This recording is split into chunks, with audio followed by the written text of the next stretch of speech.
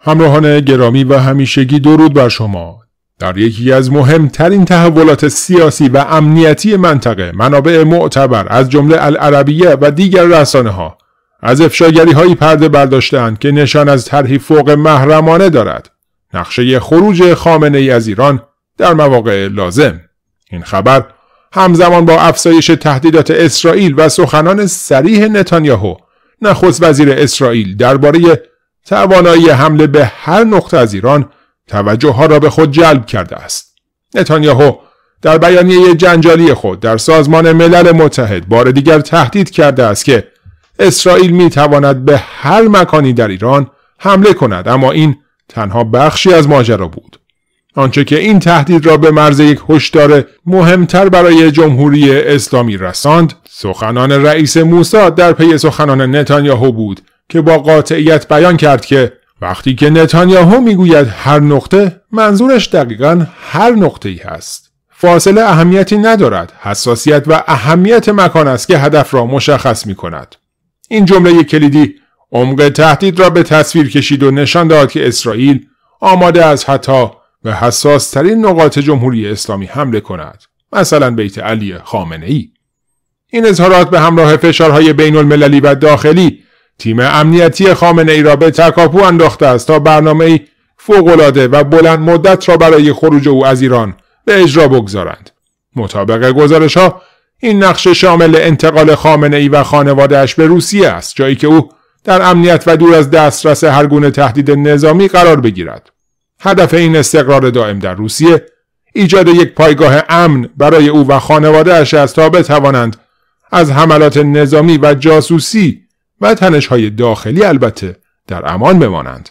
اما سناریو به اینجا ختم نمی شود. تیم مشاوران و امنیت خامنه ای به این نتیجه رسیدند که برای از بین بردن هر گونه شبهه و جلوگیری از گمان زنی ها درباره فرار کامل او از ایران او هر از چندگاهی با سفری مقطعی در انظار عمومی حاضر شود این سفرهای کنترل شده با هدف ایجاد این تصور خواهد بود که خامنه ای همچنان در ایران حضور دارد و امور کشور را مدیریت می کند در حالی که اقامت او در روسیه فعلا به نظر می رسد که دائم خواهد بود.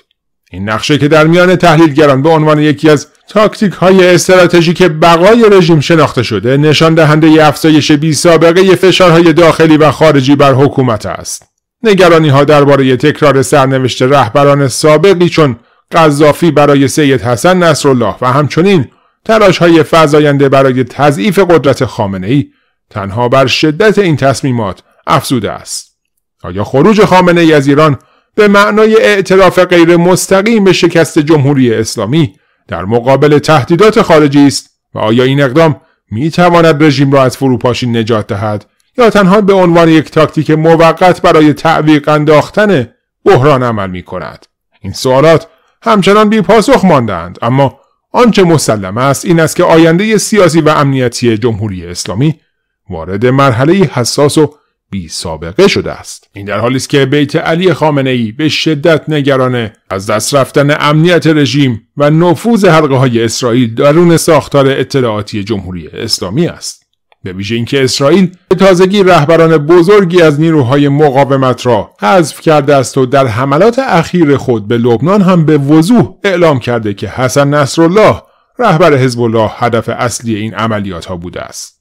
این حملات که به خصوص اخیرا در جنوب بیروت رخ دادند به دنبال سخنان بنیامین نتانیاهو. نخست وزیر اسرائیل انجام شد که بار دیگر تأکید کرده بود.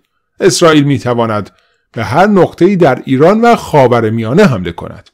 نتانیاهو در مجمع عمومی سازمان ملل تأکید کرد که هیچ جایی حتی پناهگاه های زیرزمینی از دسترس اسرائیل خارج نیست. مطابق گزارش ها نصرالله از این حملات تاکنون جان سالم به در برده است اما نشان می دهد که اسرائیل به شدت در تلاش است تا شخص او را هدف قرار دهد و بسیاری معتقدند که پس از حذف او نوبت به سر مار می‌رسد. همانطور که قذافی در نهایت در لیبی پس از سالها مقاومت سقوط کرد نصرالله هم به نظر می رسد که در موقعیتی مشابه قرار گرفته است. با توجه به تشدید حملات و فشارهای بین المللی برخی تحلیلگران معتقدند که سرنوشت نصرالله به سرنوشت قذافی شباهت بسیاری خواهد داشت.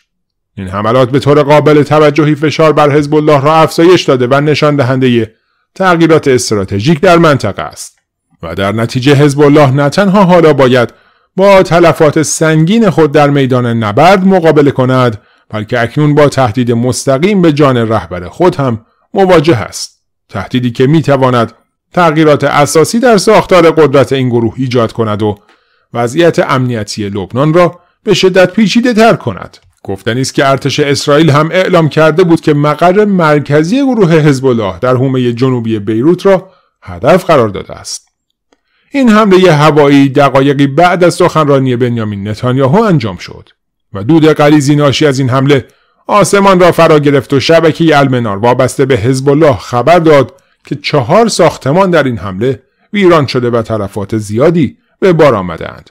دانیل هگاری سخنگوی ارتش اسرائیل اعلام کرد که مرکز اصلی فرماندهی حزب الله در عمق مناطق مسکونی و زیر ساختمان های مسکونی قرار گرفته بود.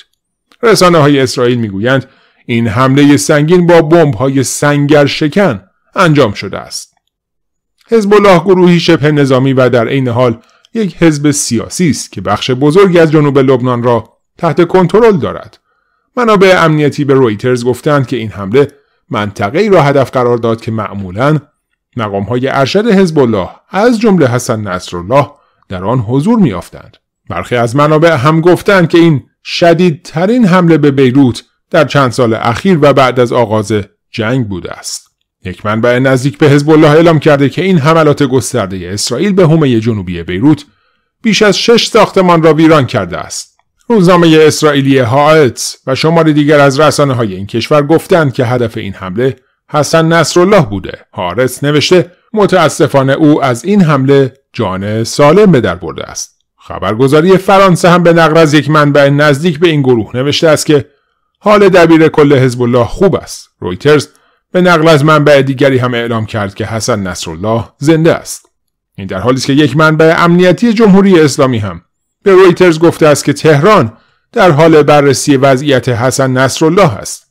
یک منبع ارشد سیاسی اسرائیل جنب شب به شبکه کان گفته بود که اسرائیل پیشا پیش دولت آمریکا را در جریان این عملیات قرار داده بود.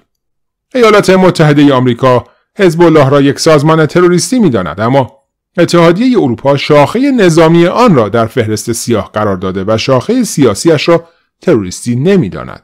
حزب الله در پارلمان لبنان هم نمایندگانی دارد.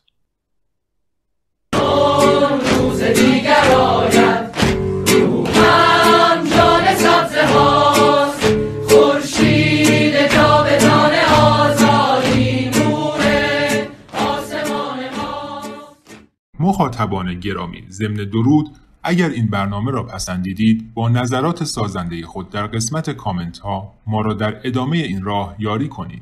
همچنین فراموش نکنید که علاوه بر سابسکرایب در کانال با فشردن علامت زنگوله در پایین همین ویدیو هیچ کدام از برنامه های ما را از دست نخواهید داد. به امید ایرانی آزاد و آباد.